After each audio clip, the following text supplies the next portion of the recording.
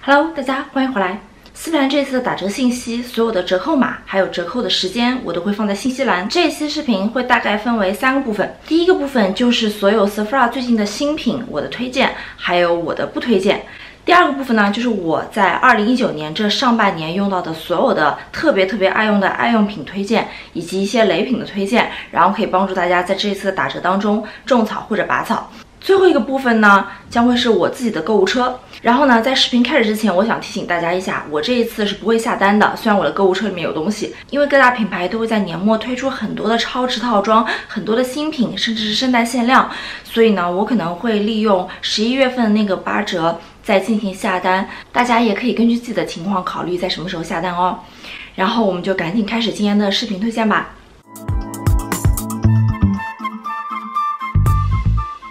各大品牌最近都在疯狂的推出新品的粉底液，在所有的粉底液当中，我本人最推荐的是 Fenty Beauty 的那一款粉底液，因为它的最大的好处是不暗沉，而且它只要三十五美金，算是在 high end 的产品里面性价比非常高的一款了，而且呢，它非常的水润，还持久。在 K 妹最近的视频当中，她已经试用了这一款新的粉底液，她自己是一个超级大干皮。看她的那一期测评，我觉得她非常非常的喜欢。所以呢，在所有的粉底液当中，我推最推荐的是 Fancy 的这一款。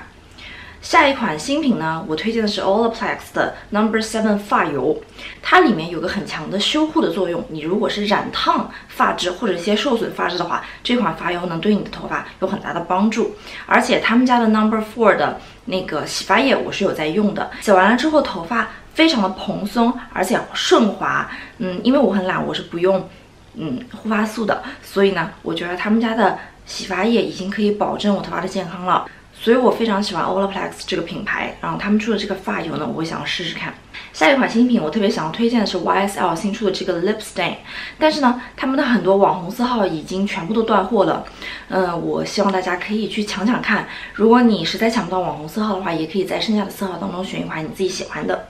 下一个呢，其实是一个老产品的新包装，就是大家都很喜欢，尤其是干皮在冬天非常喜欢的这个 Handover 的 Primer，他们家出了一个新的 Super Size Handover Primer，然后是比以前的量要大很多，而且我觉得性价比也很高。那在这一次的打折当中，如果大家很种草之前的它是 Denona 出的 Sunset Palette，或者它最近新出的 Coral Palette 和那个迷你的五色的 Tropic Palette 的话，都可以在这一次下手。我个人是不会买 Sunset Palette 或者 Coral Palette，因为我有很多很类似的颜色了。不过我也看过很多的视频，觉得这是一盘很适合入手的眼影盘。如果你没有相近的颜色的话。下一个呢，我想给大家推荐的是 NARS 的 Wanted Palette，他们又复刻了，所以这一次打折的时候，如果你想收的话，也可以在这个时间把它收入囊中啊。嗯，现在呢，我想给大家推荐的是三款这个套装，我比较喜欢的三款套装是这个 Chorus 的 Vitamin C 的这个野玫瑰精油套装，它里面还有一个同款的 Moisturizer。因为我个人是非常喜欢这款面油，我之前在一个套盒当中用了一个四毫升的小样之后，我就立即购入了他们家的正装。我喜欢它的原因很简单，因为它的这个面油的质地非常的轻薄，我觉得它当中有百分之大概。七十五是水吧，然后剩下百分之二十五是油，就是在你的脸上能很保湿，可是一点也不会觉得腻或者油乎，然后推开之后也是特别的好吸收。关键是我觉得我有看到一点点它美白提亮的效果。就今年夏天过去了，虽然我的就手臂有黑不少，可是我的脸上就是确实是嗯没有怎么黑，嗯，并且我平常在白天的日照时间还是挺长的，嗯，我是能看到它的一个美白提亮效。效果，而且它的使用感和香味都非常的宜人，所以这一款 Corus 美白面油的这个套装我非常的推荐给大家，而且它的价值也是比较的实惠，因为我记得它这个正装的三十毫升的面油好像是要五六十美金的，然后这个套装呃的价格就比较优秀了。下一个套装我想推荐给大家的是这个。嗯，Estee Lauder 雅诗兰黛他们家的这个小棕瓶套装，价值是九十美金，它的售价只要六十五美金，嗯，再加上八折，再加上返利，我觉得非常划算。它里面包含了一个 Advanced Night Repair Eye，就是小棕瓶的这个非常经典的眼霜，然后加上一个 Advanced Night Repair，也就是这个小的小棕瓶的中样吧，算是，然后再加上一个他们家的一个呃睫毛膏。我觉得，如果你本来就很种草这一个小棕瓶的眼霜，然后又对他们小棕瓶的脸精华有兴趣的话，我觉得这个套装就还蛮适合你的。而且他们家的这款 mascara 我有用过，我觉得还是。还还是不错的，呃，所以在八折的这个期间购入这个套装，我觉得还是蛮划算的。然后最后一个套装呢，也是我自己最种草的一个套装，是 Sephora 家的这个 Clean Makeup，还有 Hair Care Set，它里面有很多很多我自己特别想要尝试的产品，并且呢，它的中样的。呃，量并不是很少的，所以呢，我很想试一下这一个套装。呃，比如说它里面有一个非常经典的 Brio Gel 家的 Don't Despair Repair 的这个发膜，呃，是很好用发膜。然后当然也有一个 Pharmacy 的小的一个像是旅行装的。卸妆膏，还有我很喜欢的 Herbivore 这个品牌加的一个 Exfoliating Glow Potion，嗯，这个我也想试一下。还有那个 Used to the People 最近很火的这个品牌的 Superfood Face Wash，他们家这个洗脸的我一直都很想用了。RAN 他们家的 AHA 这个 Tonic 的一个嗯提亮的，算是有一点刷酸成分的一个水吧。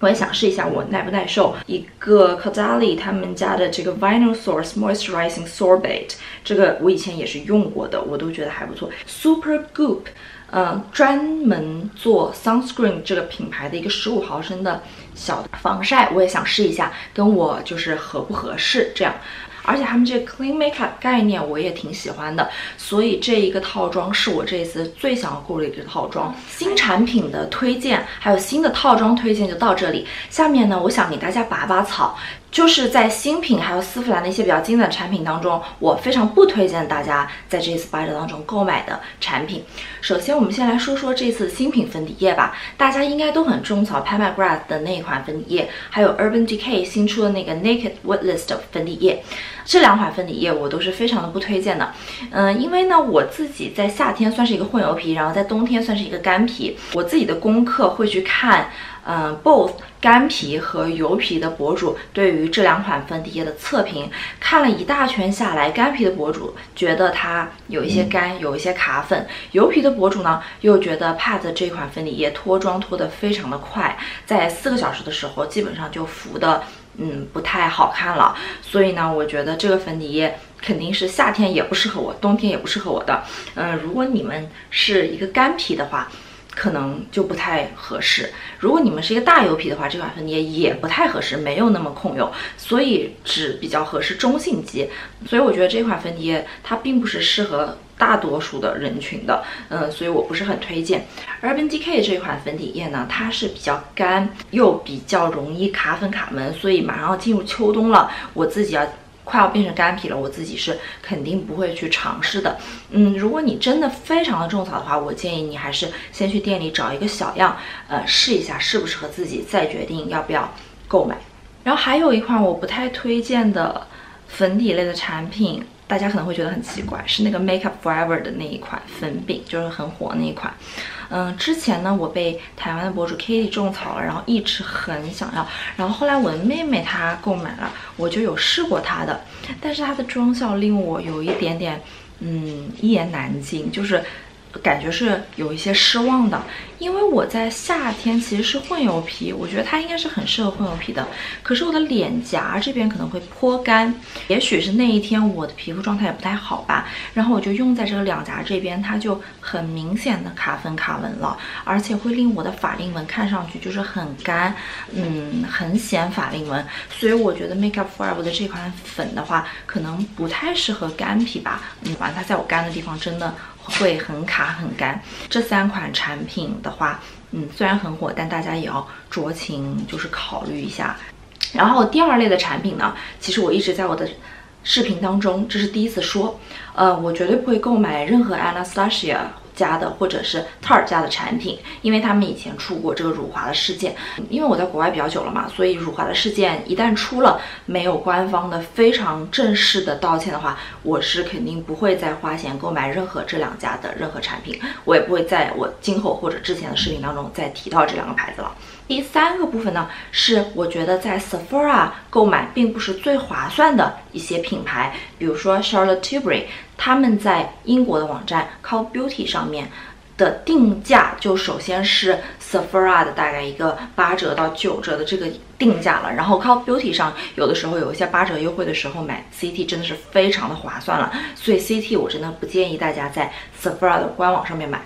还有就是兰蔻，兰蔻他们家还有 s d Lauder 他们家都会在官网经常的有很多的活动，所以我觉得 Sephora 也不是购买他们的最好的一个网站。就是 Too Faced 和呃 Giorgio Armani 他们家的彩妆，我也不是很建议在。呃，Sephora 上面买，因为 Armani 他们家经常会出一些七折的活动啦，嗯，有一些产品有的时候打折的力度真的很大，而且有的时候口红也会打一个半价的折扣，我就有抢到过半价的口红，所以，嗯，我觉得大家还是更应该关注一下 Armani 他们家官网的活动。Too Faced 呢，他们家的官网当然是经常的六七折啦，完全没有必要在 Sephora 上面购买。好，然后第四类，我不建议大家这次购买正装的是所有。含有酸或者是 retinol 这个成分的一些产品，最近 pharmacy 啊，还有 Drunk Elephant 都出了一些刷酸的这样的一些产品，很多人也很种草。我看到网上的很多测评是，嗯，不耐受，然后结果皮肤大面积过敏，皮肤大面积爆痘这样的情况。所以我觉得，在你没有刷过。类似的酸的情况之下，或者你没有刷过这么浓的 retinol 或者是酸的情况之下，你一定要去要小样，或者你买中样去看一看你皮肤到底耐不耐受，然后再下手购买它的正装。我想。第二个部分呢，我想趁这个机会跟大家说一下，在二零一九年的上半年，我用的最爱最爱的一些产品，然后还有我用的一些比较鸡肋或者比较雷的产品，给大家种种草，再拔拔草。首先先从爱用品开始，今年上半年我用到的最爱的 moisturizer 就是 Erno Laslo 这款豆腐霜，它的质地其实更像希腊的浓稠酸奶，就是让你觉得厚厚的。可是它上了脸之后，在我这个夏季混油皮的脸上，很快就吸收了，而且。非常的清爽，不会有任何的黏腻感，就没有任何负担，然后搞得我就一直想去不停的挖它，挖上脸，所以每次用的时候就用好多，然后现在已经进去了一个巨大的坑，我觉得再过个两三个月可能就要空瓶了。我非常希望没有试过的同学，如果你也喜欢轻薄的这种 moisturizer，又能保湿的话，强烈的建议你可以试一试这一款非常大火的豆腐霜。顺便把他们家的一个面膜也说了，这个是嗯奥伦纳苏家的这个 Hydrotherapy Memory Sleep Mask，它这个里面是一个非常嗯像果冻状的粉粉的质地，然后如果你挖过一勺的话，你再把它放回去，第二天它又会变回一个很平平的这个表面，那个质地也是非常的水润轻薄，就是很胶状的这一种。嗯，睡眠面膜就涂在脸上也不会有太过重的负担，但是还是会感觉到很水润，是有一点点存在感的。嗯，还有一款。嗯，今年一九年我用到的很喜欢的面膜是这个 Fresh 家的红茶 Instant Perfecting Mask，它的质地是跟土豆泥一模一样的，就像你把土豆泥抹在脸上，然后它的功效是 Soothing，还有一个提亮，还有可以在短时间内让你的 skin 变得很软很嫩，然后很清爽的那种感觉。嗯，它在脸上是一种冰冰凉凉的薄荷感，就很适合夏天用，所以我这个夏天就特别。喜欢用这一款面膜，而且它有非常强大的这个抗氧化的能力，所以你刚用完之后。会感觉到脸明显的软嫩，而且提亮了很多。在你重要的场合之化妆之前，你可以敷一下这款面膜，我真的是很喜欢。然后下面推荐一款水，是来自于这个我很喜欢的品牌 Herbivore 家的这个我讲过很多次的 Rose Hibiscus Coconut Water Hydrating Face Mist。它的这个 mist 呢，并不是很稀的那种，是那种还挺。冲人的那种，可是它这个水真的太轻薄了，就跟凉白开一样。但是它的保湿效果也是不错的，非常非常爱它这个野玫瑰的味道。它的玫瑰味一点也不像是那种人工香精的味道，而是那种真正的野生玫瑰的味道，很 refreshing，而基础保湿做得很好，所以这个品牌我强烈的推荐。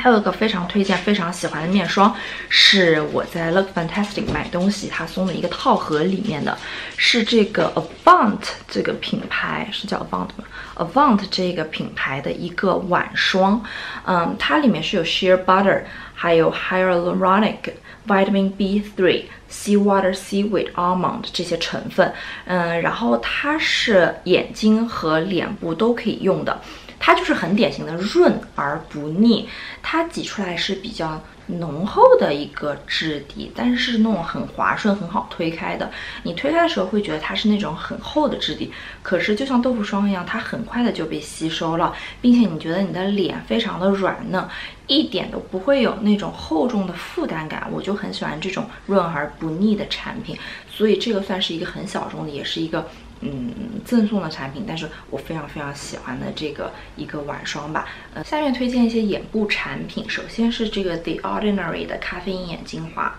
去浮肿非常的有效果，就这么一句话，而且它量多。这个价格又便宜，非常的划算。嗯，我觉得这一瓶真的不知道什么时候才能用完。嗯，而且它的质地非常轻薄，就是涂开之后很快就吸收了，就像薄薄的一层水一样。嗯，这个眼霜是 Skinmatica 的这一款。叫做 TNS Eye Repair，我最喜欢的润而不腻的质地，但是呢，它不能用在眼皮上，只能用在眼下，是那种极其好推开、很薄很薄的质地，但是却非常的滋润，而且用了这个中样一段时间之后，我觉得。各方面感觉都很好，也没有脂肪粒那些，然后又轻薄又滋润，我就很喜欢这个。头发的护理，我是特别喜欢这个叫做 Caviar 嘛，Anti-aging 的是一个 Replenishing Moisture CC Cream。它虽然是叫一个 CC Cream，但是它其实是一个头发的那种免洗的。嗯，发膜那种润发乳，然后就是在你洗完头发之后可以抹的，或者在吹头发之前可以抹，或者你在头发特别干燥或者毛躁的时候也可以抹的。然后它就是我喜欢的那种很。很芳香，然后很那种很花香的那种很清甜的味道，特别的清爽，然后涂在头发上不会让你的每一根头发就是全部粘在一起那种，而是那种很清爽、很水润的那种质地。之前我说到的那个 Olaplex 这个品牌的 Number Four 的这个 Bond。Bond Maintenance Shampoo，然后它是那种一点点就可以搓出很多很丰富的泡沫，然后冲洗的也很干净，而且在你洗头发了之后，你会觉得头发变得非常的柔顺和蓬松。我一般用它的话，我就不怎么用护发素了，因为我比较懒。对，你们最好不要学我啊！我已经在我频道讲过很多很多很多次了，就是 Christopher Robin 家的这个玫瑰海盐的这一款。嗯，洗发液用的方法还是要注意的，就是我一般用的时候是会把头发先先全部打湿，然后在头上分出这个几个区块，然后用少量的它去，呃，和着一点点水放在你头发的头皮的这条线里面，然后去揉搓它。你可以把你头发分成好几块，然后都往它那个。发根的深处抹，然后你的头发的发根就会变得非常的蓬松，可以维持个两三天，不是像之前的那一款 original 的海盐那么的容易让发尾干燥。它是不仅能让你的头皮很清爽的同时，它还能保护下面的头发，让你下面的头发不要那么的干燥。这个有点对，有点恶心，但是它这个哇超好闻，也是那种野生玫瑰的味道。然后我差不多用的只剩三分之一了，我之后是肯定回购，会回购的，而且会试一下他们家其他的产品。下面呢，我来给大家推荐几样在二零一九年上半年我自己都特别喜欢的彩妆方面的爱用品。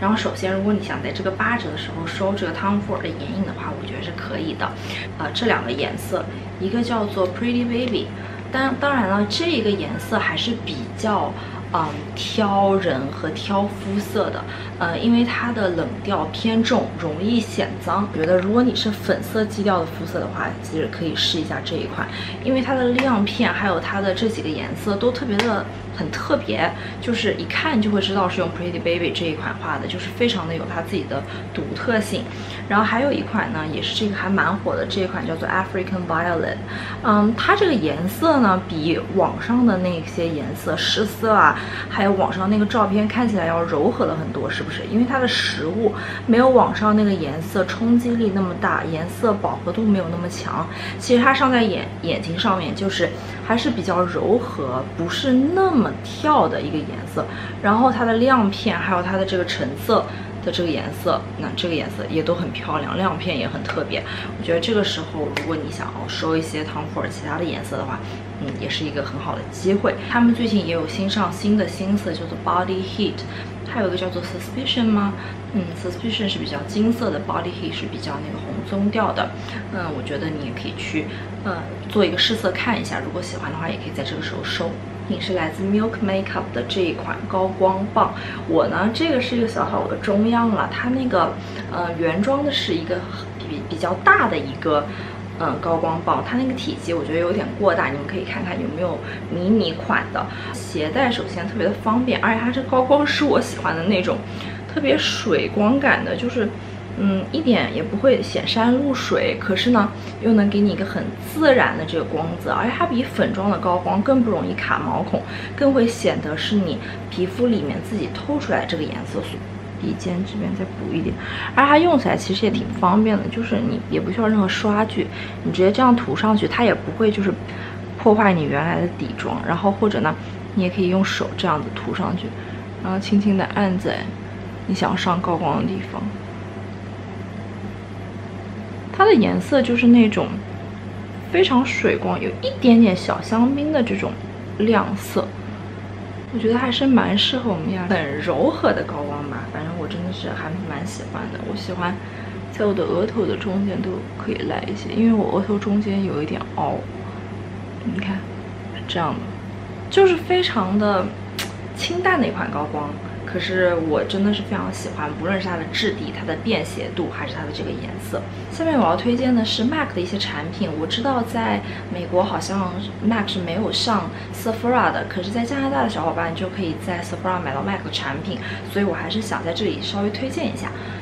Studio Fix Fluid SPF 15，号是 NW10。算是一个比较白的色号了，因为我知道它会稍微有一点点氧化。然后这款粉底液，也就是我今天脸上用的这一款粉底液，我觉得它的贴肤性特别的强，并且它能长时间的服帖在你的脸上，不会有那种很厚重的妆感。嗯，我在夏天是一个混油皮嘛，所以我在夏天是非常喜欢用这款粉底液的。它的持妆效果很好，而且呢，它不会让你感觉到就是妆感很厚重，它也不会去给你。卡粉卡纹，虽然说它并不是是一个非常水润的质地，它还是比较油肌友好的，但是它不会在我眼下或者在我别的地方就是卡的很深，而且它的持妆力真的是不错。然后我买的色号比较白嘛，所以暗沉了之后也不会显得整个人很黄很白很没有气色。所以这一款粉底液真的是我超级超级爱的一款粉底液。又有一个我很推荐的很喜欢的 MAC 的产品是 MAC 的这个 Prep and Prime 的一个润唇膏。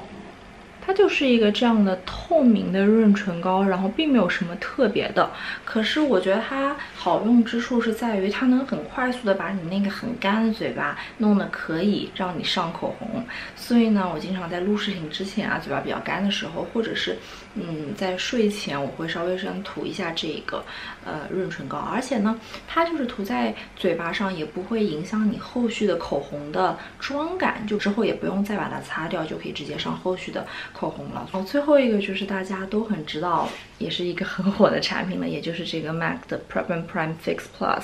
这个定妆喷雾。我的就是 Original 这一款，水出水力啊，就是比较夸张的，所以你最好离得稍微远一点去喷。但是它的定妆效果真的是很不错。而且它的味道就是不会像 Urban Decay 那么的讨厌，嗯，然后它是在你呃上妆前的时候也可以喷，上完妆之后也可以用作定妆喷雾，就算是还是几合一的这个功能吧，并且呢，它可以喷在一些刷子上去蘸一些比较亮片或者比较飞粉的眼影，会可以增加它的这个饱和度和亮度。然后它是一个偏哑光的妆效，但并不是完全的雾面的，嗯，并且它很好的，就是说它能把一些比较干的粉底液啊，或者是你上完的一些散粉啊，给你完全的融入进你的皮肤。然后，然后下面我想跟大家说一些我比较不推荐的护肤方面的比较鸡肋或者一些有点雷的雷品。好。第一样是这个 Omavita 的这个皇后水喷雾，它这个喷雾肯定是非常的细啦，就是嗯，真的是很不错，而且这个香味其实也是我比较喜欢的那种比较有高级感的精油的香味。可是我为什么不推荐它呢？这个虽然已经是我的第二瓶了，可是我觉得它的性价比真的不是非常的高，因为它。嗯，有一点过贵了，这就是为什么我没有那么的推荐它，因为在比它便宜的喷雾产品当中有很多，嗯，都是很不错的产品，所以我觉得没有必要，就是花那么多钱去买一款最基础保湿的喷雾，嗯。大家肯定会觉得很奇怪，就我为什么会不喜欢这个红药精华？之前我还挺喜欢的，但是在我发现用过了第一瓶，然后换成第二瓶的时候，还有包括红药精华这个眼霜，它们都有一点。我看不到什么效果啊，只能说在我的脸上也没有那种很保湿，然后也没有很维稳的效果。我觉得我在用这个红腰子眼脸部精华和眼部精华的时候，我的皮肤并没有像我之前用厚的重生蜜贴啊，或者用一些其他的精华的时候那么稳定了，就是有的时候还会吃了火锅会冒一个一两个痘之类的，所以。嗯，我其实并没有特别的看出他们俩的特别大的效果。红腰子脸部精华吸收还是挺快的，可是这个眼部精华就有一点点吸收的很慢，不吸收那种感觉，就总是觉得在眼周滑滑的，一定要涂上了眼霜之后它才能慢慢的吸收，就不属于像。兰蔻大眼精华那种吸收很快的，所以产品可能现在在丝芙兰还暂时买不到，但是我一起想把它给说了吧，因为这也是二零一九年上半年的我用的比较不推荐的产品。呃，这个香缇卡的 Vital Essence 我不太推荐，因为跟红腰子精华一样，我不是特别能看到它的效果。嗯，我觉得我已经用了有这么两三个月了，我就不是特别能感受到它的效果。然后香缇卡家的话，我更推荐他们家的花颜面霜。然后这个是 The f o n 家的这一款 Hydra Skin Intensive Skin Hydrating Serum，然后它的话我不推荐的原因，并不是它不好用，它非常的保湿，也非常的轻薄，好吸收。可是它真的用的特别特别的快，很容易就用完，这是我第二瓶了。嗯，我觉得它的性价比非常的低，所以我也不是很推荐这个产品。希尔氏的这个 Midnight Recovery Concentrate，就是他们家还挺火的那个，呃，一款。就是修复型的面油吧，算是一个精华，但是呢，它是油状的。我觉得在夏天用的话，就是真的过于厚重，因为它是那种油糊在脸上的感觉。所以虽然它的效果很不错，修复力也不错，但是我可能更推荐在冬天用。就是夏天，如果你种草这个的话，可能先就暂时先 hold on 一下，不要买，然后等到冬天再买，因为它确实是挺油的。好，终于说到最后一个部分，也是老王的购物车里有什么。我再次提醒一下大家，这一次我是不会下单的，因为很多品牌的新品还有圣诞限量都会在年末的时候才放出，所以我可能会等到嗯下一次的十一月份一并下单。我还是想跟大家说一下我的购物车里面有什么吧。啊，我已经累得坐下来了。呃，首先呢，我有个这个 Dermalogica 家的一个套装，是他们家这个非常有名得过 Allure 奖的这个 Daily Micro Foliant Exfoliator。它是一个像粉状的那种洁颜粉，还有一个比较小瓶装的这个十五毫升的 Dermalogica 家的卸妆油。这样的话，我就可以同时试到他们家的这两个产品。他们加在一起的话是才十九美金，这样打折八折的话。就真的是很划算，很便宜了。嗯，囤一个这个 Pharmacy 的正装的卸妆膏。嗯，还有呢，我这次 p a m a Grass 家的底妆的新品，我唯一想要买，也许比较种草的就是他们家的那款散粉，因为我看到很多人在测评的时候，他们有说这款散粉非常的。嗯，轻若无物，就是说你上脸了之后，它那个妆感非常的不重，就显得像没有上过散粉一样。可是又帮你就是填进了毛孔，还有有也有帮你 set 你的底妆。我觉得帕家的这个新散粉听起来有一点像 Hourglass 家的那个我最喜欢的散粉，所以我准备买这个散粉来试一下。我还想要买一个这个嗯 Doctor Dennis 的这一款。呃，毛孔的调理水，嗯，我不知道它的具体情况会不会好用，这个还要具体用了再跟大家说。但是它在丝芙兰上面的评价确实是很不错的，而且它也属于一个 skincare 的新品嘛，我可能会嗯，试一试这个 Biosense 家的这个眼霜，就是有角鲨烯和这个 Marine Algae Eye Cream。嗯，我觉得它的评价是很不错的，而且还有属于 clean makeup 嘛，里面的所有的成分也都十分的天然。然后 Biosense 这个品牌，我自己也很喜欢它品牌的这些理念。然后角鲨烯又是一个这种修护型的成分嘛，所以我还挺想试一下这个眼霜的。这边有一个人在下面说，他以前一直是用 Shiseido 的眼霜的，呃，是也是刚刚三十岁。然后他觉得这个就是非常的好推开，而且非常的 smooth，而且非常保湿。嗯，他觉得它比 Shiseido 的任何一款眼霜都要更加的 moisturizing。啊，他用过最 amazing 的一个产品，将近两百多的评价都是四星和五星，所以我觉得这个 Biosense 的眼霜应该还是值得一试。嗯。以上呢就是我推荐的所有的新品，然后我不推荐的产品，还有我一九年上半年用过的所有的爱用品和类品，嗯，以及我购物车里面的一些呃产品。希望大家喜欢这支视频，然后能对大家最近的一些购买有所帮助。嗯，下一支视频再见吧，拜拜。